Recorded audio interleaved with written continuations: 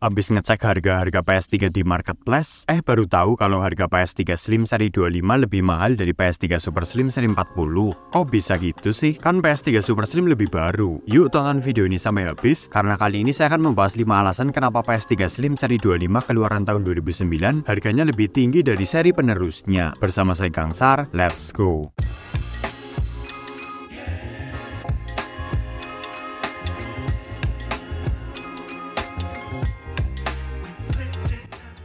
Setelah satu bulan lalu kita membahas 5 alasan kenapa PS3 Super Slim kurang diminati, sekarang giliran dalangnya nih, yakni PS3 Slim khususnya seri 25 yang selalu menjadi primadona orang di saat membeli PS3. Padahal PS3 Slim umurnya lebih tua dari PS3 Super Slim, tapi banyak sekali dicari-cari orang, karena demand yang selalu bertambah tersebut membuat harga pasarannya pun naik, bahkan menjadi lebih tinggi dari PS3 Super Slim dan PS4 Fat OFW. Sebagai contoh, jika kita melihat harga di marketplace online Shopee, bukan di Facebook Marketplace, harga PS3 Super Slim 500GB itu di angka 1.900.000. Lalu PS4 Fat OEV 500GB itu 1,9 juta juga. Tapi PS3 Slim seri 25 penyimpanan 500GB itu bisa 2 juta lebih. Kok hal seperti itu bisa terjadi? Nah, kali ini sama-sama kita akan bahas. Setidaknya ada 5 alasan berdasarkan informasi real yang saya dapat dari gamer pemilik PS3 Slim seri 25 dan pihak-pihak pengusaha rental PS. Penasaran apa saja? Yuk langsung saja kita masuk ke pembahasannya. Alasan pertama kenapa PS3 Slim seri 25 mahal adalah karena kebanyakan unit yang beredar sudah menggunakan firmware CFW atau custom firmware. Singkatnya, CFW ini adalah firmware yang sudah dimodifikasi dengan tujuan agar bisa menginstal dan memainkan game bajakan. Game-game bajakan tersebut bisa kamu download secara gratis secara satuan di internet. Nah, masalahnya tidak semua PS3 itu bisa menjalankan firmware CFW ini. Hanya PS3 seri 25 lah PS3 terakhir yang bisa menjalankan CFW ini. PS3 seri penerusnya yakni Slim seri 30 dan Super Slim hanya bisa menggunakan firmware hand yang tidak sesempurna firmware CFW. Dengan firmware CFW ini, kamu bisa dengan mudah dan langsung menginstal game bajakan, mengatur kecepatan kipas, memainkan game tanpa perlu enable hand, mengcopy data game ke PS-PS lain, dan masih banyak lainnya.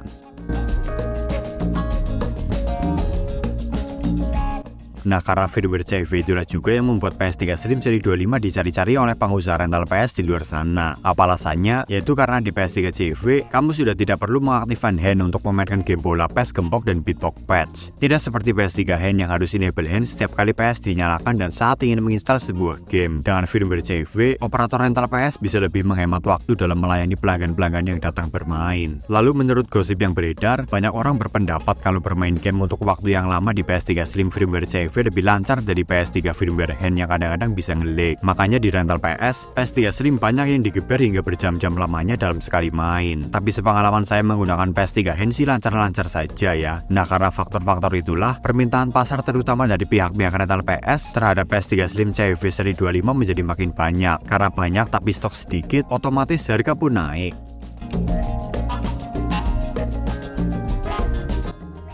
Alasan selanjutnya kenapa PS3 Slim seri 25 mahal adalah karena mulai dari seri ini dan seri 21, gamer PS3 lebih percaya diri dengan kualitas mesin PS3.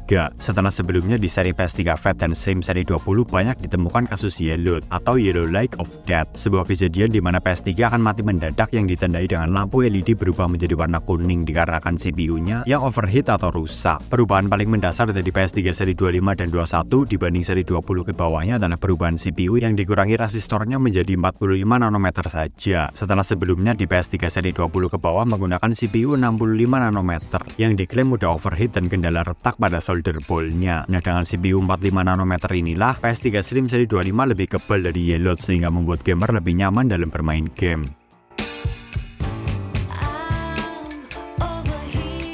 Dan alasan berikutnya kenapa PS3 Slim seri 25 harganya mahal adalah karena fisiknya yang tangguh. Selain desain bodi yang minimalis dan elegan, kekuatan rangka dari casing PS3 ini juga sangat kuat. Terbukti dengan kebanyakan rental-rental PS3 yang bertahun-tahun stay dengan PS3 Slim seri 25. Tidak seperti PS3 Super Slim yang casingnya berlayer-layer sehingga mudah kemasukan kotoran dan jika terjatuh gampang retak dan lepas. PS3 Slim kebal terhadap benturan-benturan ringan. Saya saja sering membawa PS3 Slim ke rumah teman saya untuk dimainkan bersama. Dan mesin di dalamnya awet-awet saja walau banyak terkena goncangan. Di video posisi PS vertikal melawan horizontal, saya sempat melakukan drop test pada PS3 Slim seri 25 dan tidak terjadi masalah.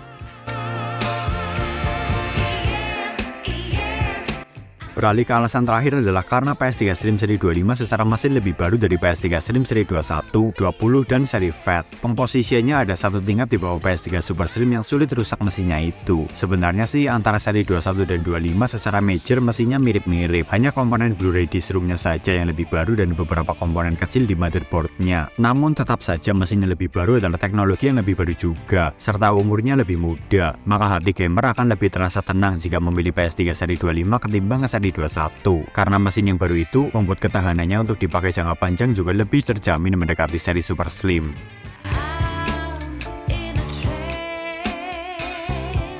Ya, jadi seperti itulah teman-teman video saya kali ini mengenai 5 alasan kenapa PS3 Slim seri 25 dijual dengan harga mahal. Menurut saya poin yang paling krusial adalah karena jenis firmware-nya yang tidak dimiliki oleh PS3 penerus-penerusnya. Tapi menurut saya, PS3 Slim seri 25 bukanlah keharusan untuk dibeli jika kamu adalah gamer PS3 baru. Karena justru saya lebih menyarankan kamu untuk membeli PS3 Super Slim saja untuk pemakaian pribadi, karena mesinnya lebih baru. PS3 Slim seri 25 memang kuat dan bandel, namun menurut saya mesinnya sudah cukup tua. Bayangkan, tahun 2009 itu artinya sudah 15 tahun yang lalu. Mesin elektronik berusia 15 tahun perlu dipertanyakan kesehatannya untuk 3-5 tahun ke depan. Apalagi harganya mahal banget kan? Jadi lebih baik cari aman saja jangan membeli PS3 Super Slim, walaupun agak ribet sedikit di firmware handnya, atau PS4 sekalian. Sudah harganya lebih murah, grafiknya lebih bagus. Jika kamu punya faktor lain yang membuat PS3 seri 25 ini mahal, bisa tulis saja pendapatmu di kolom komentar di bawah sebagai bahan diskusi kita bersama. Terima kasih sudah menonton video ini sampai habis, semoga bermanfaat dan menghibur. Oh ya, tonton juga juga video saya lainnya, yaitu tentang battle dua kebiasaan gamer konsol, yakni memainkan game digital dan game fisik. Manakah yang sebenarnya paling menguntungkan? Cek di sana. Jangan sampai kamu rugi memilih kebiasaan, karena bisa jadi lebih mahal. Like video ini jika kamu suka, komen apabila ada pertanyaan pendapat, share apabila kamu merasa video ini bermanfaat juga untuk teman-teman kamu yang lain, follow Instagram kami di @ria.gadget agar kamu bisa tahu aktivitas channel ini di belakang layar. Cek juga toko online kami di Shopee dengan nama Store Gadget Merch, karena di sana saya akan menjual barang-barang bekas review dengan harga murah. Dan jangan lupa juga untuk hit the subscribe button di bawah agar kamu tidak ketinggalan dengan video-video saya selanjutnya tentang PlayStation dan konsol-konsol lainnya yang akan saya upload minimal dua kali dalam seminggu. See you next time dan bye.